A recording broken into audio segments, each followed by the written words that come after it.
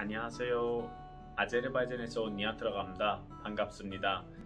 한국 온 지 10년쯤 됐으며 현재 강남구청 주민자치과 외국인 지원센터의 센터장으로 활동을 하고 있습니다. 또 서울시에 있는 외국인 주민 대표자 회의의 의장, 또 법무부 사회통합 프로그램 멘토단의 멘토로 활동을 하고 있습니다. 10년 전에 정부초청 장학금 받고 한국에 오게 됐습니다. 한국 오고 나서 한국어 실력을 높이기 위해서 한국어를 열심히 했고 또 여러 가지 대회에서 상금을 받게 됐습니다. 또 한국에서 열렸던 논문 대회에서도 두 번이나 상금을 단 적이 있습니다.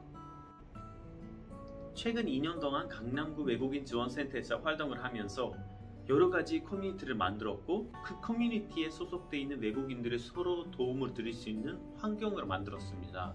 특히 뭐 두 가지 잘 되는 케이스를 말씀드리자면 첫 번째는 Innovative Korea라는 서로 도움을 드리면서 스타트업을 만들어주고 또 스트라, 스타트업을 만들고 나서 지원을 받을 수 있는 자체 커뮤니티를 만들었습니다. 또 두 번째는 Global Korea Professionals라는 단체인데 이 단체를 통해서 우리가 만들었던 것은 바로 국내에 살고 있는 프로페셔널들, 우수 인재들이 모여서 서로 교류할 수 있는 커뮤니티입니다.